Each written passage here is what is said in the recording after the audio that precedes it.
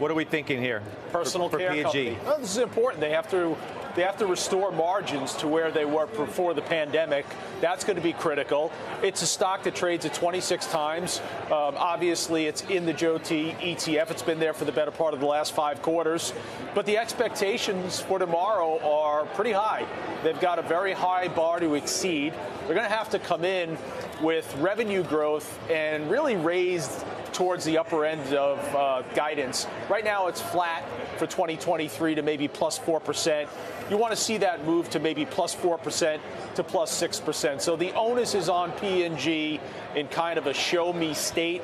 Uh, there's other areas in consumer staples like Hershey and Church and Dwight, which are giving you better near-term revenue growth than P&G. But collectively, we own 11 consumer staples. That seems to be the right place to be over the last 18 months. Mike, staples 26 times is not cheap yeah, for P&G. No. I mean, no, it's not. Um, I mean, it's not you know, kind of out of the range, but it's at the upper end of the range for what it is typically traded for. And I think it's a very similar story. Look, it has an Apple multiple, and it's got the quality premium that is afforded to Apple as well.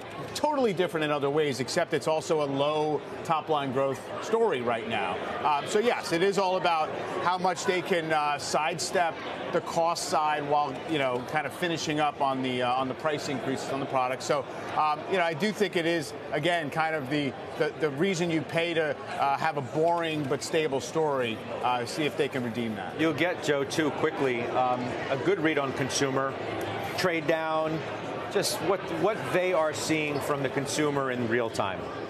Yeah, I, listen again. So this is just my personal opinion, and that's what makes a market. But but I've I've already resigned to myself to the fact that we're weakening. That's in fact what we're doing.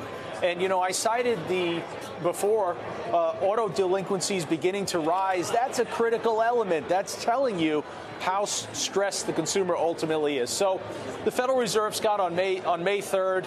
Uh, whether they pause or not, if they do pause, it'll probably be the most hawkish pause in the history of monetary policy because they're basically like your parents going to let you out from punishment but scold you and tell you that if you do it again the punishment's going to be far worse than anything you've ever felt. Yeah.